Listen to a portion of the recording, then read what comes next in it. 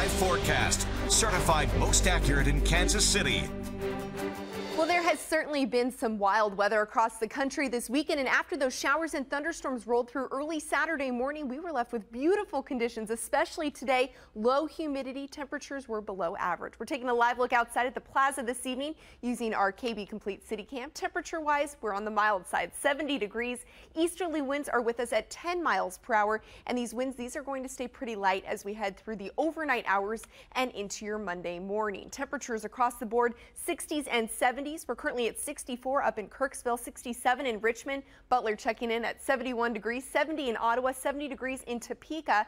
And these temperatures will be falling into the low 60s as we head throughout your overnight hours. Here's what you can expect. Now, clouds will be increasing as we head throughout those overnight hours. But again, mild temperatures will be with us. Showers and thunderstorms will be moving in for the day on Monday, and heavy rain will be possible with the strongest of these thunderstorms. The good news is the severe threat looks very low at this time, but again, the main threat with these thunderstorms is going to be very heavy rainfall. We were stuck under the cloud cover for the majority of the day until the last just couple of hours as the clouds are pushing off to the east. We do have clearing skies, but those skies will quickly fill back in with cloud cover.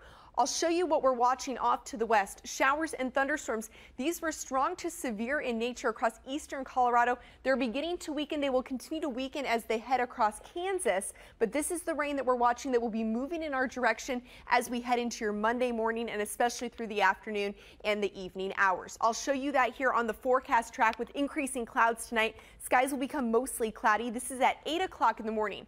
Now notice the system has slowed down significantly from past forecasts. So we're not not really expecting much in the way of rain at 8 o'clock in the morning, maybe a 20 to 30 percent chance of showers.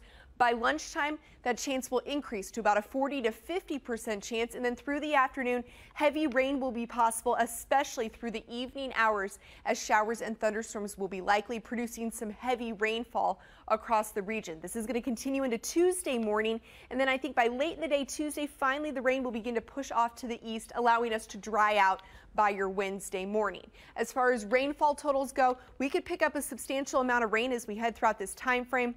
I would say in the order of about a half of an inch all the way up to about an inch and a half of rain will be possible with the strongest of these thunderstorms. So if you live in these flood prone areas, you do want to make sure you do stay alert to the weather as we head into the first part of your work week as we're expecting more heavy rainfall to push in.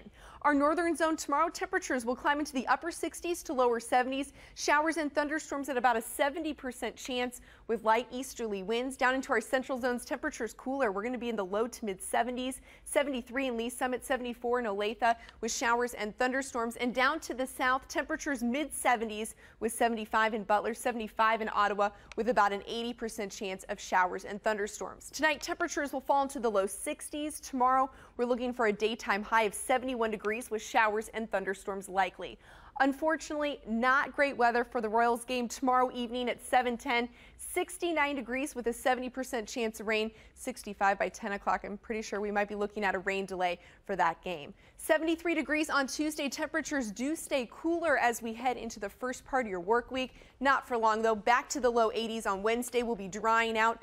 Another chance of showers and thunderstorms on Thursday as those temperatures continue to warm up as we head into next weekend. Small chance of rain on Sunday, but we we are looking for highs in the mid 80s by next weekend. So it's going to be a toasty one. All right, and we're going to we're doing really well in the rain bucket. We certainly are. We can use a little bit more, but I think by the end of this week we might be all caught up. Saturated. Yes. Too. Thanks, Haley.